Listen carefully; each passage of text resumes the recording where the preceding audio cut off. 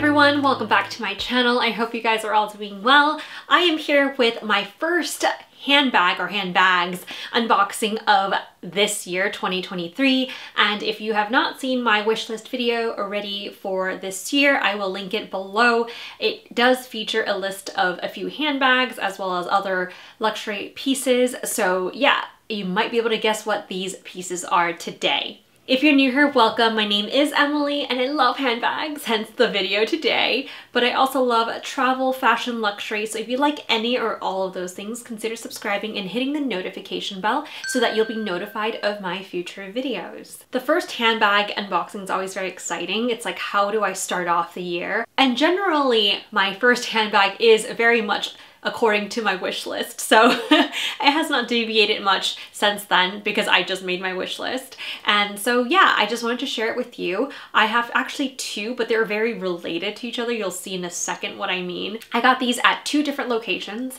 and there's a reason why because I got a really good deal on one of them and the other, um, it was just regular price, but I had a gift card. So I thought, you know what, I'll just get it from that location.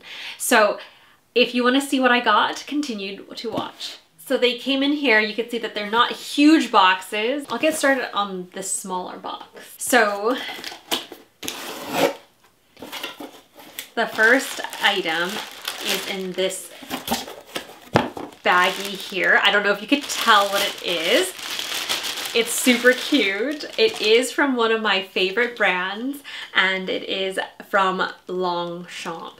Now, if you If you've been following some of the handbag trends last year, you'll know that this Longchamp collaboration with Filt. Um, both of them are French company, French brands. You'll know that this has been an extremely popular bag, sold out, and nobody could get their hands on it. Last year, I think like around maybe and halfway through the year, they came back in stock in many colors, so I finally got my hands on one now. I didn't think I wanted to get it for the winter time, but I am going to Hawaii soon. So I thought this would be a very good bag to bring. So a little bit closer, you can see that this has the silhouette of the Longchamp Les Pliages line, meaning the little handle here. It's flat and it's leather. And then there's a little snap closure button thing here. Now, of course, this is much smaller than the Longchamp bags that you would see from the Les Pliages line. I have them in so many different styles like tote bags, backpacks, crossbody bags. So yep, here's another one to add to the collection.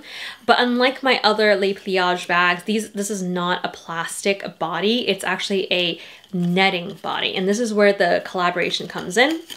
This collaboration, uh, actually here's a here's a tag. This is what the Longchamp bags usually look like on this side, and this is what the Filet bags look like from the Filt. The Filt brand is a well-known French brand that makes this netting bag, and it's usually used for their shopping totes, for groceries, farmer, farmer's market, etc but now they combined the look of the Les Pliages line and it looks super cute. So you open it like this, as you can see. There is a crossbody shoulder strap here, which is the same fabric material as the rest of the netting. It is not adjustable, but I'm sure you can adjust it in some ways. I'll try to figure it out. And on this tag, it does say made in France, which not all of their Les Pliages bags are, so I'm glad this one is. And this is the tag for Filt, which is the other company, and it was established in 1860. So yeah, it's very, very cute here we are and if I had it on my shoulder. You can see my hip is right here. I'm 5'1 for reference and it hits me actually quite well. I can reach this, the bottom of this bag. And then crossbody wise, it also hits me at a pretty good length. Uh, I think if you're taller, you this might come up too tall on you, but if you're like me at about 5'1", 155 centimeters, you'll be just fine wearing it crossbody or on the shoulder. So as you can see, this has no structure. It's not a type of bag that I usually go for because I like structured bags, but I did think this was a very cute bag for, you know, the summertime and I also thought it would be a great bag because it's so lightweight and so easy to wear on the beach. So if I'm going to Hawaii that would be a perfect opportunity to wear this bag. Grabbing my phone I have the Pixel 5 I know I need a new phone, maybe this year. and so just to show you what it looks like, um, if I had my phone in there, you can see it fits really nicely like so. And um, it does I mean, you can obviously see through it because it's a netting bag. If I put another item in there like this Dior Compact, um, you, you can see that it doesn't really stay organized. It'll like flip flop, like my phone already fell to its side already. So you do need to pay attention to that if you're going after this bag. I personally don't, like, I think I'm, I'm gonna be okay with it. I'm not gonna go in thinking it'll be a very organized bag, but that's okay because I'm going to the beach. I don't really need that to happen. I just don't want too much sand in there. So here we go. Uh, I also wanted to point out that this this bag only has one handle, uh, whereas most Les Pliage bags have two handles, so that is one thing to keep in mind. But if you're wearing the other side as a shoulder bag, then you can actually hold it quite well. You can even leave it open and it's probably okay. So I will play around with this to let you know how I could use it. I do know you can put other things in there to make it more secure. So for example, you could put a scarf in here or you could put a dust bag in here and that will help shape this bag as well as keep your items inside a little bit more hidden. So yeah, I am really excited about this and I love this purple shade. I think it looks very cute. Um, and yeah, overall it's very light, very easy to like pack up and like bring with you. And then if you need an extra bag, it can actually expand quite big. So yeah, definitely be able to use this on vacation nicely. All right guys, so the next item that I have here is sitting in this box. And again, it's very flat and so you might be able to guess what it is. This one I got from Italist. The other bag I got from Nordstrom. So the Nordstrom, I had a gift card, so I thought I'd use it there, but I got this one from Italist because they had a really good sale. So let me open it and I'll, I can go more into it with you, but here we go. It's very minimally packed, which is totally fine. I love my packaging, but sometimes, you know, it is actually good because you save the environment a lot. So in this case, there's just a little receipt in here and the item is wrapped in here in the Italist packaging. So here we go. I don't know if you have any guesses what this might be. Alrighty, you can kind of see through and it is no surprise, another Les Pliage and Filt brand bag. So this one has the Italist tag attached to it. It's just because they don't want you to uh, use the bag and return it. So you have to keep this on if you want to return. But um, this bag was cheaper than if I were to buy it at Nordstrom. So I decided to get it through Italist. And yeah, it looks from what I can see, very similar. So as you can see, this bag is a larger size compared to the one I just unboxed. This one is the regular size, and this one has two handles, just like the Le Pliage totes, and it also does have the strap. Now, let me open the, the same snap closure button here because I do see another strap. So this bag features the two top handles in leather and then the two strap handles here in this fabric. So because I chose this bag in black, the straps are also in black. As you can see, the netting is black. And so this drop is much shorter. And so you can see that this is meant for a shoulder bag, like so. Of course, this is much bigger than the other one. So just for comparison, this is the original, this is the extra small, this is, I guess, regular. And you can see that it is very tiny. Like even the shape of this is smaller than this by quite a bit. Um, and then the strap, let me see if I can show you here. You can see that the strap drops much longer than this one. So this one is definitely more of like a tote style versus the other one's definitely more of like a crossbody style. This bag is much bigger and you can definitely fit a lot more things in there. And when you open it, you can see that the opening is huge. And so you can put it on the crook of your arm here I have a big sweater, but you can do that or you can use the uh, longer straps to wear on your shoulder, which I really like. This bag is also by the brand Filt. It's the same bag, it's just a bigger size. And if you look closely here, let's see if it'll focus, it does say made in France as well. So that's great because um, I do like my French brand bags made in France. I think that's very appropriate. There is a little note card here which tells you a little bit about what this is made of. So it's made of textiles, as you can see the material here, but it's also made with cowhide, which is all the brown parts. And so that's very similar to the Les Pliages uh, line. It also tells you how to uh, clean it and what to avoid and such. So the other one also came with one of these, but I forgot to show you, so I'm showing you now. The Filt collaboration does have this tag, which is why you see it here again. And um, yeah, just to let you know, this one's about five ounces in weight and this one is about 2.5 ounces in weight. So this is about half the weight of this guy. And that's really rough because obviously there's still some random tags on it.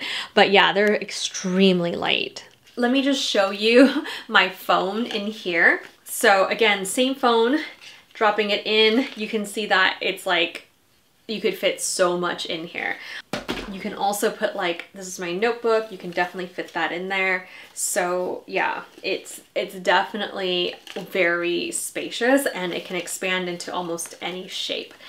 I think one thing that I have to worry about with this bag, the other bag as well, is that smaller items do fall out so I cannot put like anything small like pens keys anything. It will it will kind of jut out.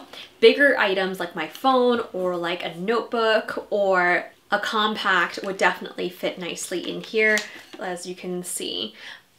Again, this one is just as see-through as the extra small size, but uh, if you're getting it as I'm doing, which is as a beach bag or around the beach. Um, it is fine because I don't really care if people see my towels and such.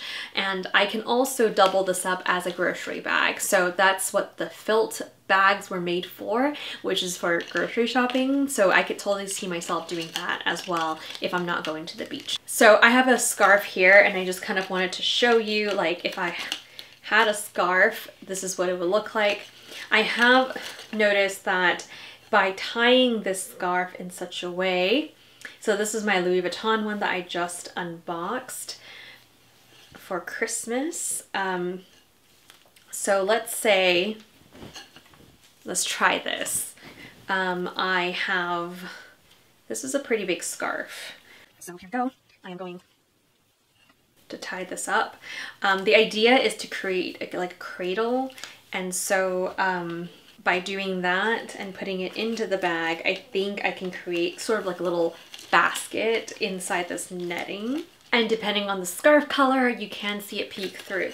Now, I have not tied the scarf very nicely, but if I were to put my, let's say, notebook inside the scarf, you can you can now not see it you can only see the scarf. So you can definitely play around with that and first you know depending on how nicely you tie the scarf you can actually put small pieces of items in here and not it won't come out the holes because it'll be stuck in the scarf. It will take some getting used to. I i will probably show you how I use it later because right now I'm just playing I'm just I'm seeing it for the first time. So I'm very excited to bring both of these bags to vacation next. I think I have a few vacations planned that involves the beach soon, so I think that will come in handy. But I can also see myself, like I said, bringing it to the farmer's market. These are so lightweight and so handy that like if I tossed it in one of my purses or if I left it in my car, I can easily grab it for, you know, bringing groceries home as well. So um, let me just tell you the price. The price for the smaller with extra small one is 85 US dollars, but they do sometimes go on sale so you can find them cheaper. This larger size is 110 US dollars. So for a designer bag, it's not that bad actually. But obviously for the materials that you get, it's not all leather. It is this material that is more of a fabric. So in terms of that, I don't think it's it should cost as much. But if you think about merging the two design houses and what they do best, it's actually a really cute thing to have, a really cool thing to collect if you are a handbag lover.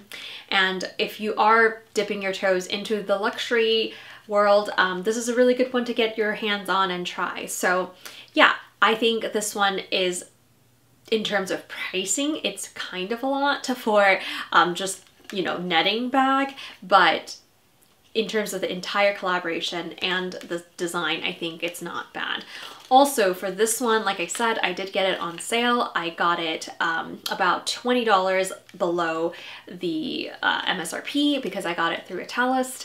I've talked about Italist here before. It is a company that sources materials from Europe, mainly from Italy. A lot of the times their items are less and not because they cannot sell it or it's old, it's because they actually found pieces around Italy that are selling for a lower price point. An example to explain that is if you ever go to Europe, you'll, you'll notice that things generally cost cheaper, not just from the conversion rate, but just in general, things cost cheaper because they don't have to export and import into the US. So anyway, that savings is saved here um, Italist passes on that savings to us. So I will link any that I can find below.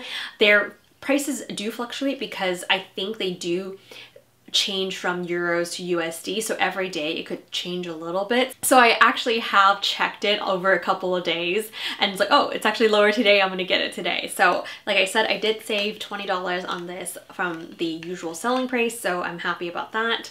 And yeah, I will link a bunch below if you're interested. Sometimes my links do have coupon codes attached to them, so hopefully it does apply to yours. Um, but yeah, I will list them below if you're interested. I hope you guys enjoyed this quick unboxing. I will have more to unbox throughout the year, so definitely subscribe, stay tuned so that you'll be notified the next time I do another unboxing. And if you would like to see either of these bags styled, make sure you check out my Instagram at Clutch to Carry All, and then you'll be able to see these paired with outfits, how I style them, how they look in real life. I hope you guys have a great rest of your day, and I'll see you guys in my next video.